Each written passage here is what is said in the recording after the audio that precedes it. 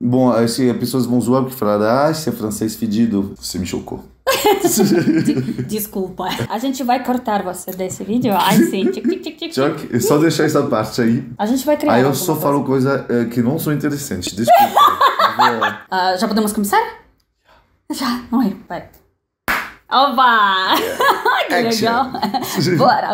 Oi, gente, tudo bom com vocês? Meu nome é Olga, sou Rucinha que estuda português e estou muito feliz que hoje eu não estou sozinha. Hoje eu tenho um convidado super especial. Olá Brasil, sou Alexi, eu sou francês. Hum, mas com certeza vocês já conhecem essa pessoa muito famosa, né? Esse homem, a gente pode dizer que você é um dos primeiros estrangeiros, né? Que você Em- assistiu no, no YouTube? Sim, não, e quem ah, falou sobre o Brasil no YouTube, que, porque você, pela primeira vez, você mudou para o Brasil quando? Em 2004. Meu Deus do céu, eu nem era nascida.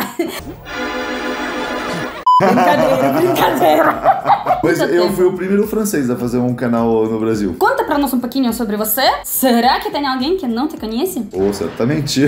Quem é você? Eu sou Alexis, sou francês, eh, tô casado com uma brasileira, temos uma filha franco-brasileira. A gente morava aqui em São Paulo, a gente morou no Rio, Curitiba. A gente estava há dois anos agora, durante a pandemia, na verdade, morando no motorhome, viajando pela Europa. E agora a gente parou cinco meses atrás, a gente tá no sul de Portugal. Eu tenho um canal Olá Brasil, que vocês têm que seguir.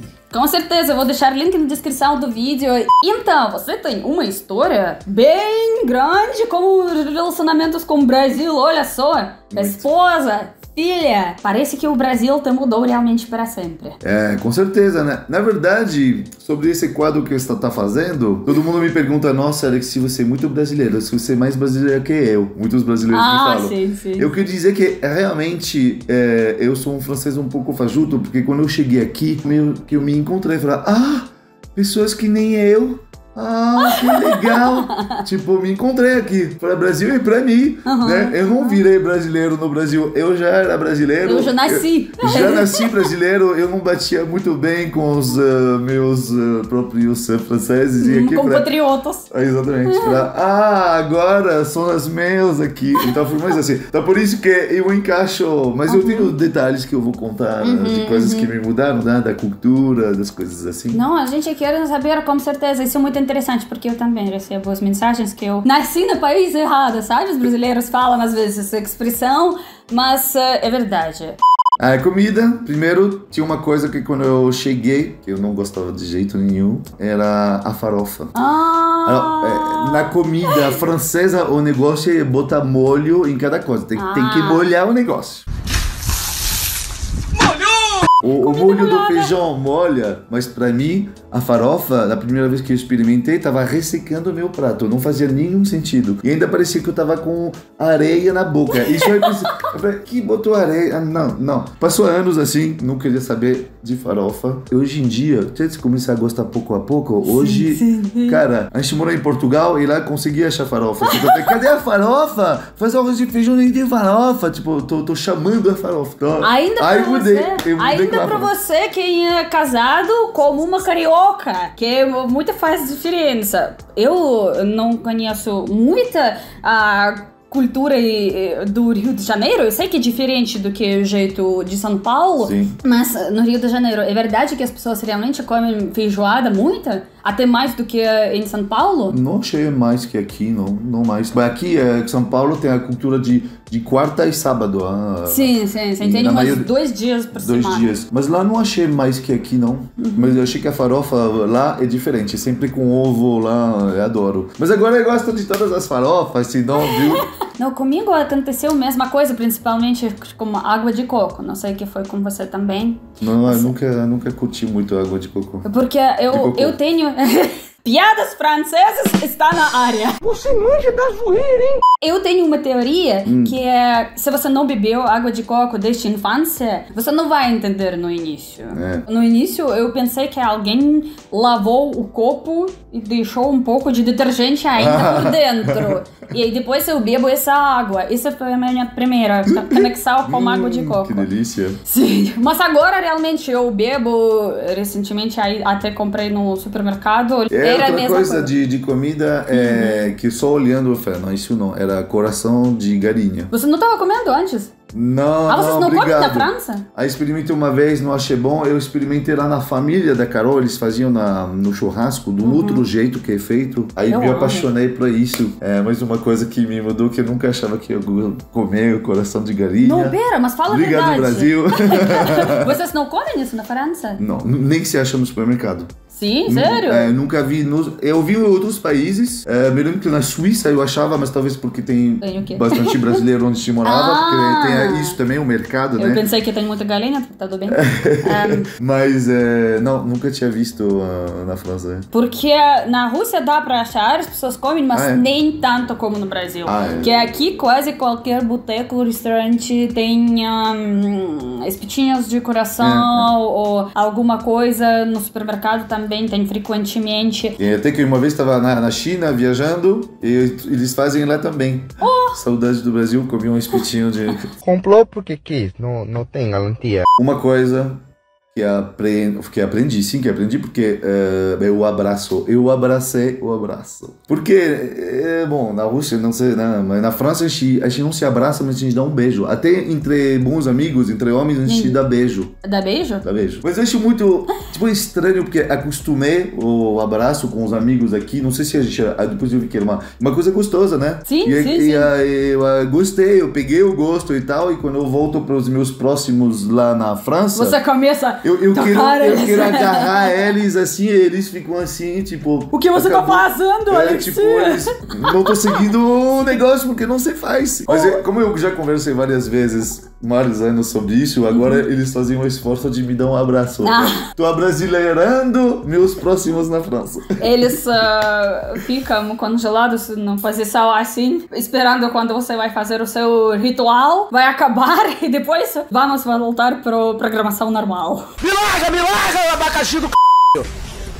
Me larga, filha da. Na Rússia, como você já perguntou, é depende também da região, porque antigamente era muito comum, tipo, você encontrar, beijar, abraçar e, tu, e tudo mais. Depois, eh, época da União Soviética, é claro que todo mundo fica Sim, sim. assim, sim, não, não mexa suas mãos quando você encontra, só nos encontros da família, né? Na França, na minha família não tem, mas eu sei que algumas famílias abraçam, mas mais que tipo, alguém vai embora por muito tempo ou tá voltando há muito ah, tempo. não sei se é algum momento especial. Mas não na minha família, por exemplo. Mas eu, sei- eu vejo que em algumas famílias rola, assim, sabe? Não é uma coisa que a França não abraça, né? Não, eu entendo que depende talvez da família. Né? E, na- e na Rússia era assim, se você vai pro interior, algumas famílias lá, todo mundo talvez vai abraçar. Mas eh, depois parou, né? As pessoas ficaram muito mais ah, Rígidas. eh, quadrados, né? E tudo. E agora está voltando devagar. Ah. Agora nos capitais, tipo em Moscou, em São Petersburgo, assim, quando eu voltei, encontro meus amigos, a gente dá beijo, ou ao menos abraço. Mas ah, é de verdade. Só tá começando. Mas esse, esse abraço tão assim,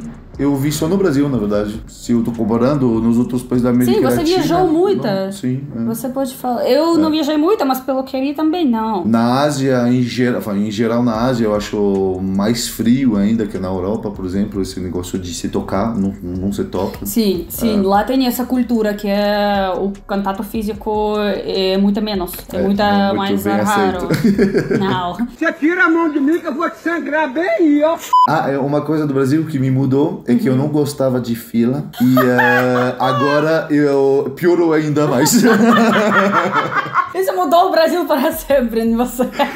Cara, eu odeio, eu odeio eh, fila realmente. Bom, não é uma coisa talvez do Brasil inteiro, mas em, em- São Paulo parece que as, as pessoas gostam de fila. Eu também penso se assim. enfiar naquele lugar que tem uma hora de fila. Eu não consigo. Se for no restaurante, ah, tem uma hora de espera. Tá bom, beleza. Boa sorte. Boa sorte, eu vou pra outro lugar que seja menos bom, menos, mas não tem fila, tem noção? Então, o Brasil me mudou. Agora aguento ainda, ainda menos a menos. Nossa, Ai, é- mas é verdade, é verdade. Os brasileiros têm alguma paciência Com infinita. fila? É, Eu não sei. tenho, eu não tenho. Eu não Isso tenho eu não aprendi. Eu não aprendi. Os brasileiros podem ficar quanto precisa. Tipo, você chega no lugar De e. boa. Mesmo se não é restaurante, eu fui pro algum consultório médico no meu horário e tem que esperar. Mas, tipo, ela me. Eu, e eu cheguei, eu tava tudo pronta já pra entrar na porta do doutor, abrir a porta e alguma mulher me parou e fala que, tipo, Ah, desculpa, mas tem fila. foi muito confusa, tipo, mas eu cheguei no meu horário, tá bom, tem fila, posso esperar? Há quanto tempo de espera, mais ou menos? Ah, uns 45 minutos, uma hora. Virei minha cabeça e vi que tem pessoas esperando na fila. E o horário deles já passou. E eles nem falam nada, eles não reclamam. Reclama, Ele é tipo é. assim. E eu sempre fico indignada com essa paciência. Quando no supermercado tem, funciona só uma caixa, e eu sempre fico assim, não fala, Olga, não fala. Agora a gente mora no Brasil, tem que ter paciência, tudo bem. Não. E depois, pode abrir mais uma caixa, desculpa. Não tô deixando aqui, lá, porque tem muita gente. Eu acho que os brasileiros realmente não gostam muito quando eu faço isso, mas tipo, realmente eu tô tentando esperar, mas é isso, é isso. Eu nunca tinha tanto contato com as filas. Eu preciso sua ajuda, gente.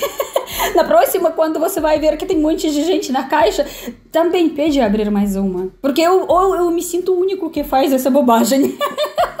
Peraí, eu só queria perguntar. No total, por quanto tempo você morou no Brasil? Ah, foram uns tre- 13 anos. que eu morei. Nossa, é muito.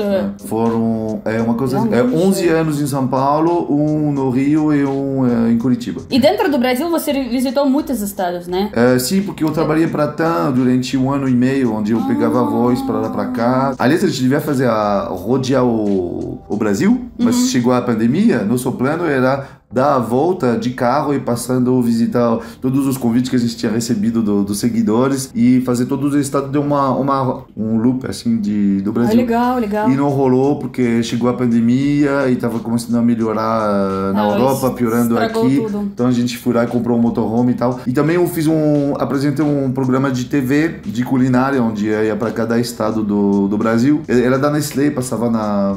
Na Band ou na Rede TV, não me lembro porque eu não tinha TV na época. Mas enfim, apresentava esse programa e a gente ia em cada estado encontrar um especialista de um prato local que não era famoso no Brasil inteiro, mas a gente ia ver o especialista que fazia, a gente ia até ele mostrando um pouco da, da Olha região. que Era interessante. bem legal. Você não sabia? Não, não, Eu vou não. te- vou te não, eu vi os vídeos no, no seu canal, como vocês visitaram diferentes lugares no Brasil Hum. e diferentes absolutamente estados e tudo. Mas esses detalhes não sabia. Especialmente gostei do detalhe sobre representador do TV sem TV. Isso foi a melhor parte. Pra me ver quando eu passava na TV, eu tinha que ir pra casa de um amigo. Isso é muito engraçado. Ah, uma coisa que me mudou ah, no Brasil é que eu aprendi a chegar depois do horário, quando alguém combina um horário de uma festa, de um negócio. como que é na França? Depois de anos acostumando com isso, eu um pouco que tinha esquecido que na França não é bem assim. Ah, Eu cheguei lá uma vez de férias, depois de anos, então um amigo me falou: Ah, se tá voltando, eh, vamos fazer um negócio na minha, na minha casa, um aperitivo, vou, vou chamar a galera pra gente te ver, né? Beleza? Às oito? Às oito. É, era engraçado porque, tipo, oito e meia era marcado às oito. Oito e meia ainda eu estava na casa da minha mãe. E meu amigo ligando: Alexia, onde você tá? Eu falei, Mas todo mundo tá aqui te esperando. A gente tá aqui pra você, você nem chegou. É, é, pra- aí, verdade. esqueci que vocês são franceses. Mas sabe que eu morei na Alemanha eh, um ano também? Ah, é, nossa, onde você não morou? É, eu morei em vários Na países. Rússia, talvez. Fiquei trabalhando um ano na, na Alemanha. Na, na Rússia eu fui, mas eu não morei. Era engraçado porque lá o horário é horário, né? Também, mas, né? Porque na França tem um negócio que você pode chegar tem uns 15 minutos sei lá, até meia hora, tudo bem. Tipo, ninguém vai te falar, alguém passar meia hora, já começa a falar, o que aconteceu? Aconteceu uma coisa? Se a pessoa não avisa, as Alguma pessoas começam a se preocupar, sim, ah, e começar a te ligar. Tipo, eles que realmente aconteceu? pensam que algo Estranho. ruim deu. É, no Brasil não, né? Tipo, talvez nem vai vir. e nem avisa. Na França Não, não. chegou, não chegou. É, na França não. E é, na Alemanha era assim, eu tinha marcado às nove na minha casa, mas eu tinha convidado os amigos alemães mesmo. E eu tinha marcado às nove. E foi muito engraçado, porque eu juro, dois para as nove tocou lá embaixo. Quando eu desci, eles estavam todos e ao mesmo tempo chegou esperando. Não faltava ninguém. Quando eu abri, tipo, na hora que eu abri, devia ser nove horas, falei. Ah, esses são todos aqui? Muito louco! Boa noite. Boa Tipo, noite. nem eu, como francês, nem tava acostumado com isso. De chegar cravado todo mundo no horário. Eu louco. nunca nem visitei a Alemanha, mas eu ouvi muito sobre isso, que é uma minuta já é considerado o atraso e as pessoas já podem mandar ter mensagem. E eu vou te dizer, não sei sobre você, mas eu até gosto desse jeito aqui no Brasil. É mais livre e que ninguém fica de olho em você, que é onde você está, o que você está fazendo, por que você não chegou, essas perguntas e tudo isso. Talvez porque aqui no Brasil tem outro formato de festa. A comida não acaba, geralmente tem churrasco e você pode comer agora, em meia hora, em uma, uma hora, e ainda vai sobrar comida, É. cerveja e tudo. A Pois é. diferença gigante que, por exemplo, na Rússia, a gente marca o horário e a Uhum. gente senta comer nesse horário. sim, sim, sim. E em uma hora já não vai ter comida. Pois é. Esse jeito do Brasil do churrasco no final de semana pra convidar deixa mais liberdade pro horário. Porque mesmo se chega no horário duas horas depois, você vai ter a comida. E se você vai precisar fazer ainda suas coisas no fim de semana, né? Você pode resolver e chegar só quando você resolve. Porque se você vai ter uma hora marcada específica, você já não vai ter tempo pra si mesmo. É uma confusão total, mas tá bom. Aí uma coisa, bom, assim, as pessoas vão zoar porque falaram, ah, esse é francês fedido, mas é. Mas eu costumei, eu peguei a noia do banheiro do brasileiro. Eu falo a noia, porque é muito banho. Bom, é verdade que sempre tomava pelo menos um banho por dia na França. Aqui, como tá mais quente, tomava um pouco mais. Mas eu peguei meio a, a noia, tipo, é banho, banho, banho, sempre. Tipo, e eu fiquei meio assim, mas. refrescada Sim. Aí sempre brasileiros me falam que é, é uma coisa tipo, ah, mas porque aqui tá muito mais quente. Uhum. Mas é engraçado porque os meus amigos africanos, né, que tá quente quanto aqui, ó, mais quente, sempre quando eu falo eh, como que, que rola os banhos aqui, porque moraram na França, todos me falam, mano, na França vocês tomam muito mais banho que, no, que, que eu tomo no meu país. Então, não tem a ver com calor, é, é muito Talvez cultural. com cultura. É muito cultural. Na verdade, não é uma cultura que está vindo da Europa, né? porque aqui é uma cultura, se você vê a descendência aqui, é África, Europa, né? A- Sim, pra- sim, sim. quase a grande maioria. Claro que vem mais dos índios que estão já aqui. E não era banho pra, porque eu preciso me lavar, era mais para resfriar Refrescar, dentro, resfriar no sim, rio. Eu vi muito quando eu, eu, a gente cruza a América Latina inti- inteira, e muitas vezes que a gente ia encontrar indi- indígena nos lugares onde viviam um pouco como antes, lá nos lugares um pouco mais afastados, a gente via direito as famílias dentro da água ficando assim. Igual direito. capivaras. É, direito. É, e eu ouvi falar várias vezes que o brasileiro pegou esse costume mais dos índios que estão aqui, que é claramente Ficar que- na água. não dos europeus nem dos africanos, isso com certeza não. Mas eu fiquei com esse negócio. Isso me mudou no sentido que agora eu fico sempre banho, banho, banho, banho. Você Antigamente não também tento. virou Não tento, ou assim. brasileiro ou capivara, olha só. Eu vou dizer a mesma coisa sobre a questão das temperaturas, porque eu recebo frequentemente mensagens do norte, região, ou nordeste, que é, ah, olha só, mas ah, como a gente não vai tomar banho, como que é aqui, porque aqui é muito quente.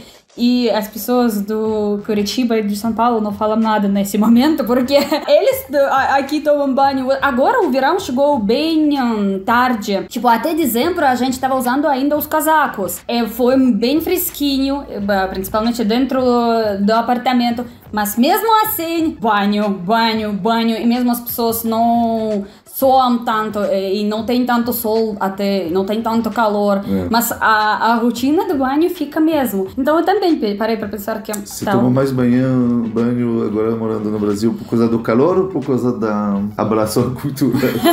Eu vou te dizer que pra mim, eu, comigo é uma situação diferente, que é, na Rússia a gente não tem duchas, a gente tem banheira. Então na Rússia a gente mergulha literalmente e fica uma hora lá, especialmente quando... Só uma vez por semana. Acho que- Mergulho. Muitas vezes pessoas me falam, quantas vezes eh, você toma banho por semana? 24. Acertou, miserável. Que pergunta por semana? por Tipo, não hora. é por, tipo, quantos por- por, por dia? é mês. por semana. Duas vezes na segunda-feira, três vezes na terça. Lá tinha uma vez. É difícil pra contar assim, né? Meu atitude com banho também mudou aqui, porque pra mim o brasileiro não toma banho, ele toma ducha. Tomar Ah, sim, sim, banho é. é tipo quando você realmente deita na água por uma hora. Aliás, em lá. Portugal, isso é a diferença. É, em francês também é douche, é ban. Sim. E em Portugal ele falou tomar ducha, é banho. Até em russo, duche é ducha em russo. É, é. E Mas aqui banho é- é vanna. É, mas aqui é a mesma palavra. É a mesma palavra. É só isso, é só isso. E fala mais, fala mais das suas mudanças brasileiras. Uma coisa que aprendi a gostar que é que eu não. Agora é carnaval. Ah, Eu não gostava de bloquinho, eu, tipo. não entendi a graça. Eu não tinha graça. Você também? Mesma coisa. Sim, mas fala Eu você assim, primeiro. Tá, eu fui no Rio, assim. Só que eu tive amigos que adoram e que me levaram com a energia deles, as músicas, e comecei a, com os anos eu ia assim, mas eu comecei a conhecer as músicas de carnaval. Eu, e, e agora eu gosto. Eu vou lá, tipo, eu falei, é, eu vou porque eu tô com eles também. Não, não sei se eu iria sozinho, mas eu aprendi a gostar de bloquinho que eu achava sem graça e agora eu me divirto. Então, o carnaval de o. Brasil me fez eh, aprender a gostar de, de bloquinho, eu acho legal. é. Porque você talvez aprendeu como funciona. Entender. No né? início, gente, eu não sei como que é na França, aliás, uma coisa curiosa. Não tem. No início, não tem. não, eu, eu queria ver esse bloquinho francês, né, na França, lá no meio das ruas. Por exemplo, na Rússia, a gente não sabe nada de carnaval de rua. As pessoas sabem só de sambódromo. Sim, pois é, eu Na achava França que era isso. Eu também! Quando eu cheguei no Rio, ela falou, vamos ver o carnaval de rua. Eu, achava, eu... Eu, eu, tava vendo o sambódromo com todas as coisas passando. Eu pensei, isso que eu vou ver? E eu também! Errou feio, errou feio, errou rude. A decepção quando eu cheguei no Rio num bloquinho, só com um negócio. Um... Não, sim, sim, são as pessoas com não, eu, eu próprias. tava assim, tipo. Mas. mas é- que- que- ah, não, isso é lá, tem uma avenida especial. Falei, uma avenida especial só pra isso? Sim, só pra. Falei, mas como assim? Eles não construíram uma avenida só pra uma vez por ano pessoas passar? Sim. Caraca! Eu sou Eu me ide- identifico agora 100%. É palavra por Porque palavra, comigo foi a mesma coisa. A gente não vê que é um lugar específico. A gente vê, tipo, na França, falar carnaval. Ah, começa o carnaval no Brasil, quando começa agora esse período Uhum. Nas notícias. Mas é 20 segundos, você tem algumas imagens, você acha que isso acontece nas ruas, assim. Você não entende como funciona, é verdade. Eu Exatamente. nunca sabia Eu nem sabia palavra também. sambódromo. Não, eu não sabia que era um concurso, que tinha muito dinheiro e que as pessoas... Quando eu explico isso para as pessoas, como funciona, eles ficam, ah, é? Pô, não sabia. Ninguém tem noção. Meu primeiro bloco e meu primeiro canal Total. broxou, Que quebrou e eu tava voltando pra casa cansada, toda queimada por sol, toda suada porque eh, os brasileiros geralmente têm dois metros de altura e eu literalmente estou perdida no meio de todo mundo, música que eu não conheço e não é assim, eles mostravam tudo na TV na Rússia sobre o carnaval. E eu fiquei muito passada que, nossa, por que todo mundo curte tanto? E eu não. E no ano se- seguinte, eu nem planejava tanto ir.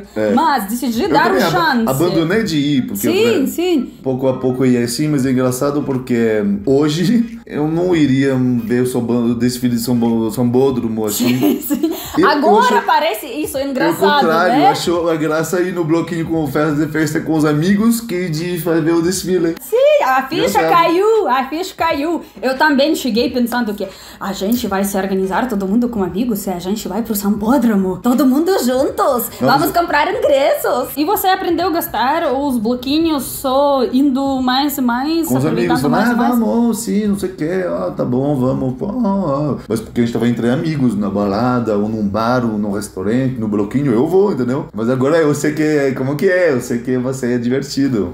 eu não sou tanto do carnaval, mas ir nos bloquinhos com os amigos, aí sim. Acho que eu sou o tanto do carnaval. Não sei, mas talvez. Porque eu vou te chocar, no último carnaval de rua que tava passando em São Paulo, num dos blocos eu fui sozinha. Você me chocou. Desculpa. Porque eu aprendi como funciona o carnaval em São... Eu não sei das outras cidades, né? Mas em São Paulo, aqui tem muitas diferentes sites e algumas mapas onde você pode escolher o bloco pelo estilo de música, pelo tamanho, pela, tipo, para as crianças, para os adultos, para os idosos, qualquer tem. E eu, tipo, boto lá estilo de música, o cantor que eu quero que vai Ah. tocar. E, por exemplo, eu gosto dos blocos pequenos. Eu também. Ah, e eu boto lá, tipo, um bloco de um mil pessoas no máximo, ou É. cinco mil pessoas no Onde máximo. você pode sair pra fazer xixi, Sim. pode pegar uma cerveja, sair de casa.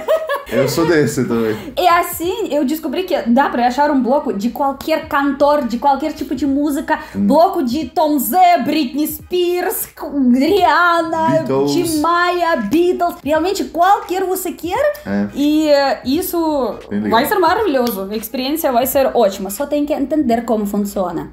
Eu percebi que então o Brasil eh, mudou nos dois em vários aspectos. É verdade. Ah? Não, isso mesmo. Obrigado, Brasil. Muito obrigada para você que você achou um tempinho para nós participar desse vídeo. Era muito curioso descobrir como um francês. Não, você mudou pra caramba. Você já nasceu brasileiro e eh, melhorou algumas fases, algumas partes, algumas Com certeza. atitudes. Muito obrigada pela participação. É, obrigado pelo convite. Até o próximo vídeo, gente. Beijo no coração. tchau. Tchau. tchau.